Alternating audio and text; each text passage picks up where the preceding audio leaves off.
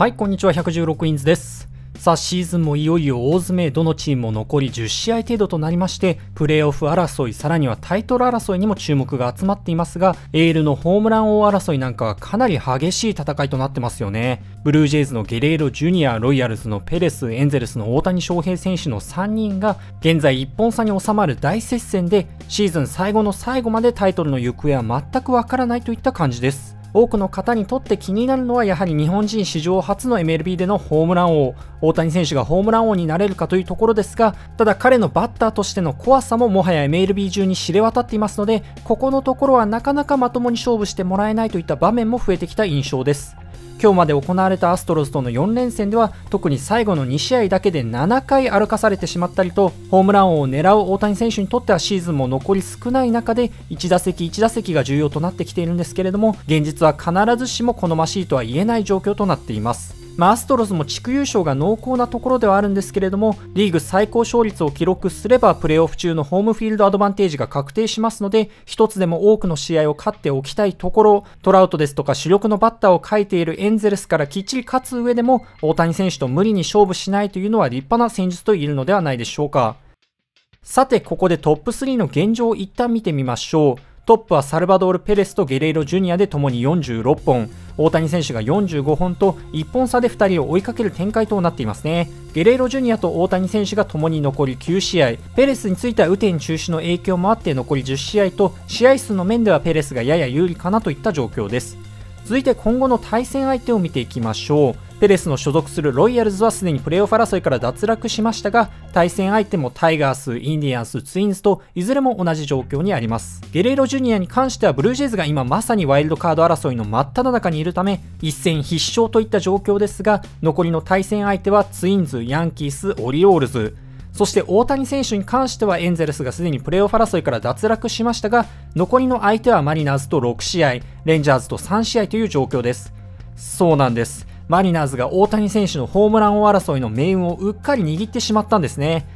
マリナーズは先週レッドソックスとの3連戦を負け越し、プレーオフ進出がかなり微妙な状況となりましたが、そこから敵地でのアスレチックス4連戦を全勝したのを含め、直近7戦6勝とまたも死んだふり作戦を決行し、残り9試合でワイルドカード圏内まで2ゲーム差と、依然厳しいことに変わりはないんですけれども、プレーオフ進出の望みをどうにかつなぐことができました。マリナーズは今季大谷選手を打率1割8分8厘、OPS8 割7厘と、大谷選手のシーズン成績を考えますとかなり抑え込んでいる方なんですけれども、一方で13試合ですでに4本ホームランも浴びていまして、やはり注意しなければいけない相手であることには変わりないでしょう。トラウト、レンドーン、アプトンらがいない今のエンゼルス打線において、最も警戒しなければいけないのは言わずもがな大谷選手と、あとはジャレット・ウォルシュの2人ですが、アストロズ同様、マリナーズも残りの6試合、大谷選手に対しては細心の注意を払いながらの対戦となることが予想されます。あまり勝負されない可能性を考えると、大谷選手のホームラン王という意味では、マリナーズとの対戦が多く残ってしまっているのは逆風となるかもしれませんね。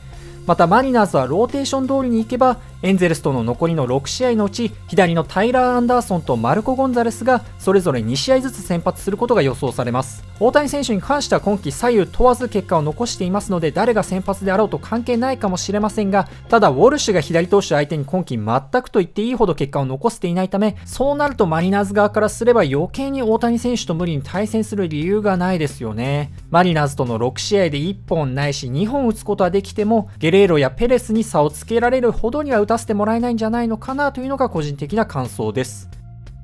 また対戦相手以前にエンゼルス打線の現状も大谷選手にとってはかなり逆風ですよね。怪我人が続出したということもありますが、こちら今月の大谷選手、ゲレーロジュニア、ペレスの次の打順の選手が残した成績となります。ゲレーロは主にボー・ビシェット、ペレスは主にアンドリュー・ベニテンディが彼らの次の打順を担っていて、今月どちらも結果を残していますね。ゲレーロの次の打順の選手は OPS9 割2分、ペレスについては OPS8 割7分6厘。相手チームからしたらなるべくゲレーロやペレスとの勝負は避けたいところではあると思うんですけれども、それを許さない打順を組めているとも言えるでしょう。しかしエンゼルスは残念ながらそうはなっていませんよね。フィル・ゴセリンが今月主に大谷選手の次の打順を担っていますが、彼がかなり苦しんでいるのもあって、大谷選手の次の打順の選手の OPS わずかに5割7分。そら相手からしたら勝負するわけがないですよね。トラウトやレンドーン、アプトナが不在の影響がもろに出てしまっているといった印象です。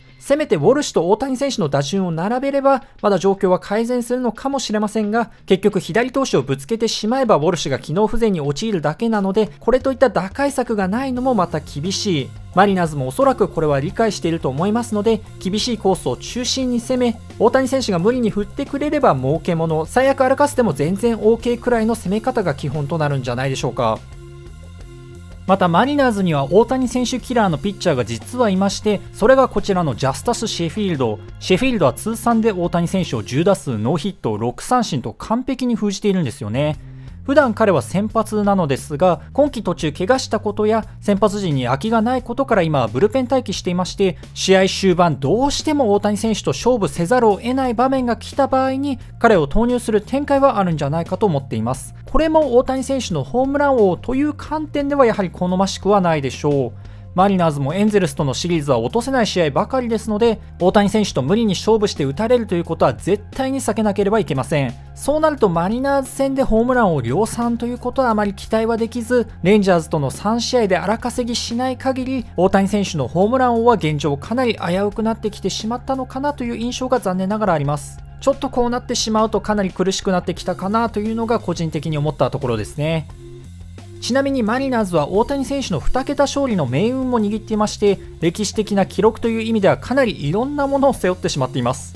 大谷選手の次回の先発は現地時間9月26日のマリナーズ3連戦の最終戦。さらにもしかしたら翌週のシーズン最終戦。これも実はマリナーズ戦なんですが最大2試合先発する可能性が残っています。今季マリナーズと投手大谷選手の唯一の対戦は6月4日の試合で、この時は JP クロフォードが大谷選手相手に先頭打者ホームランを放ちながらも、最終的には6回2失点10奪三振でまとめられてしまい、大谷選手が勝利投手となったということがありました。マリナーズはご存知の通り打線が弱点ですので、大谷選手がいつも通りのピッチングをすれば、少なくとも大量得点される可能性は低く、勝利投手のチャンスは十分あるかと思いますが、あとはブルペンの頑張り次第ですよね。エンゼルスのブルペンはどうしてもやや不安定なところもありますし、またマリナーズ打線も基本的には打てないチームではありながらも、以前もご紹介した通り試合がかかった場面では異常なまでの勝負強さを今季発揮していますので、歴史に残る10勝目に関してはブルペンの踏ん張りにもかかってくるでしょう。マリナーズは残り試合ほぼ全勝しないとプレーオフ進出はちょっと厳しいのかなという状況ですので、なんでそんな時に大谷選手クラスのピッチャーと対戦しなければいけないんだとは正直思うんですけれども、ホームラン王と比べますと2桁勝利の方がまだ大谷選手がコントロールできる部分も大きく、現実的な気もしています。大谷選手の歴史的なシーズンの締めくくり、記録の行く末、ほぼ全部をマリナーズが握ってしまいましたが、